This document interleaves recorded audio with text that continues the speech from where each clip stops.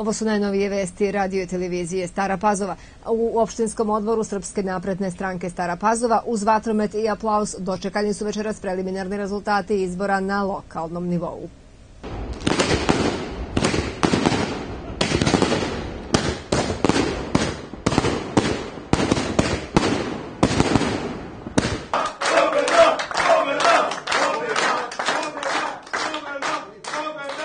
Prema preliminarnim rezultatima obrađenja 22 biračka mesta od 53, Srpska napredna stranka je osvojila 63%, odnosno 40 mandata.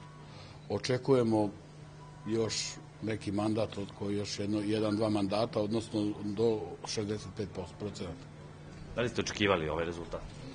Pa ne znam šta da kažem, ja sam često i volim da kažem da je ovo istorijski rezultat koji će sigurno biti zabeležen dugi niz godina. Da li smo očekivali iskreno, budem i jesmo, zato što svi ovi ljudi koji stoje ovde, sede i stoje danas ovde, su zaista radili puno. I koliko su radili, bilo je nemoguće da ovakav rezultat bude napravljen. Hvala zaista svim aktivistima, svim kandidatima, svima ovim, svim ovim ljudima ovde koji predstavljaju Srpsku naprednu stranku i Aleksandra Vučića. Ovo će praktično biti treći mandat Srpske napredne stranke u Staroj Pazovi, a s obzirom da ste vi bili prvi na listi, vama će biti, da kažemo, prvi put u istoriji da jedan čovek bude tri mandata predsednika opštine? Pa mislim da će tako biti, nadam se, ali zaista ovaj, možda je to eto, neka sreća ili slučajnost da je meni to pripalo, ali svi ovi ljudi, ponovo ponavljam se, zaslužni za to. Srpska napredna stranka u Stare Pazovi je zaista radila puno. Lokalna samuprava u Stare Pazovi je zaista najbolja od kad postoji višestranački sistem u Srbiji, ova koja je radila ovih, ova, kako ste rekli, dva mandata i treći koji će sada doći puno je stvari urađeno i ponosni smo i ponovo podlače najponosniji na to da sve obaveze koje smo nasledili 2012. godine kroz kreditno zaduženje i sva druga zaduženja da smo vratili, isplatili da danas opština Stara Pazova kreditno je nezadužena i nikakve zaduženja nema. Šta poručujete građanima opštine Stara Pazova? Šta ih čeka u naredne četiri godine? Poručujem da nas, da nas, da nas čeka još bolj, veći i bolji razvoj, zato što veliki broj kompanija je došao zato što je budžet veći za 40-50% od nekog prethodnog perioda i zato što sve ono što se dešava, puno smo ulagali u razvoj privrede. I sada je na red došao i to ono što je na neki način bitnije za građane, ono što, što je direktno vezano za njihova naselja, a to je kanalizacija i bolja putna infrastruktura, zamena vodovodne mreže i tako dalje, sve ono što građani direktno osjećaju i što mislim da je za njih mnogo va, važno. Naravno, jako je važno, ono smo radili u prehodnom periodu, a to je preko 13.000 novootvorenih, odnosno novozaposlenih građana opštine Stara Pazova i taj trend će se nastaviti. Recite mi, s obzirom da imate dva kandidata koji su se kandidovali za republički i pokrajinski parlament, da li nas očekuju neke promene u lokalnom parlamentu? Pa, mislim da posle ovakvih rezultata i posle ovolikog poverenja građana zaista je čekati minimalne promene. Naravno da promena treba da bude, ne mora da znači da ljudi moraju da ostanu na istim mestima, ali ali sigurno da svi ovi ljudi koji su radili, kažem, ponovo podlačim, izuzetno vredno. Ovo je, ovo je najbolja kampanja, kampanja Srpske napredne stranke u Staroj Pazovi kad je osnovana, mislim da zaslužuju da zauzmu. Sigurno ćemo voditi računa o svim ljudima koji su radili, koliko je ko radio, da ćemo gledati da toliko nagradimo sve ljude koji su zaista veliki napor. Hvala njima u moje ime, u ime predsednika Aleksandra Vučića, u ime Srpske napredne stranke. Da li će Stara Pazova u naredne četiri godine postati grad? Tako je, ovo je sada dokaz da građani Stare Pazove su pokazali svojim glasovima da rukovodstvo republičko koje će se isto tako predvoditi Srpska napredna stranka i naš predsednik Aleksandar Vučić, ima obavezu da ispuni svoje obeđanje, a to je da Pazova 2022. godine dobije status grada.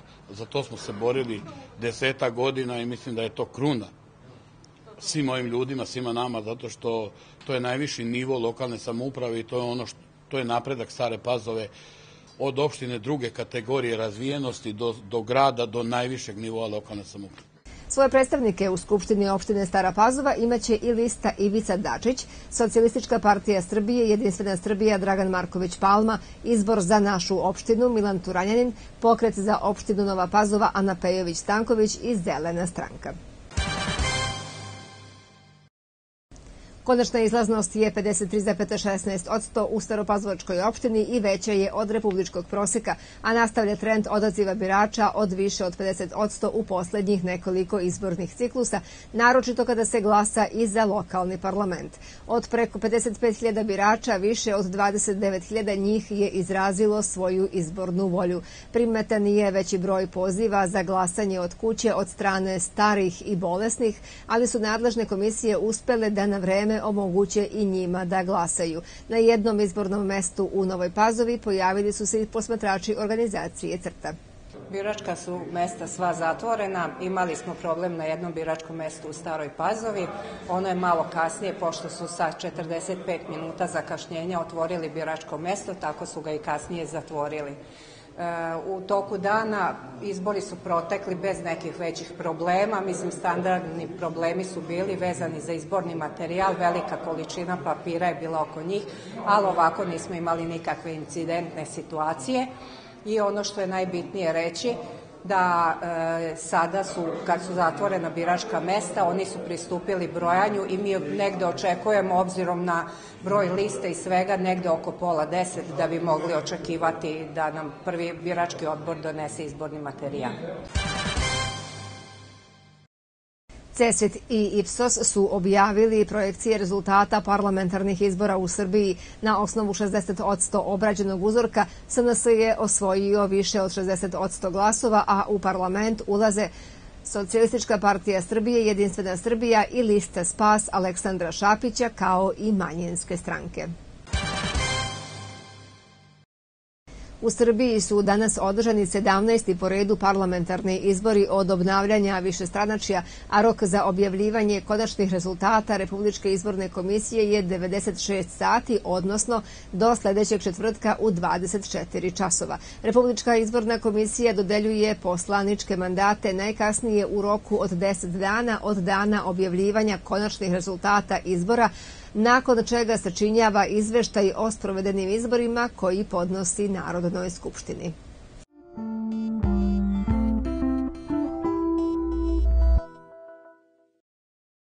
U ponedeljak pretežno oblačno sa kišom, mestimično i pljuskovima sa grmljavinom, iznad većeg dela i sa velikom količinom padavina, vetar slab i umeren severni i severoistočni. Najniža temperatura od 13 do 16, najviša od 20 do 23 stepena. Upozorenje na lokalnu pojavu grmljavine sa količinom padavina do 40 litara po kvadratnom metru u periodu od 24 časa. Vi ste pratili vesti na programu radio i televizije Stara Pazova. Doviđenja.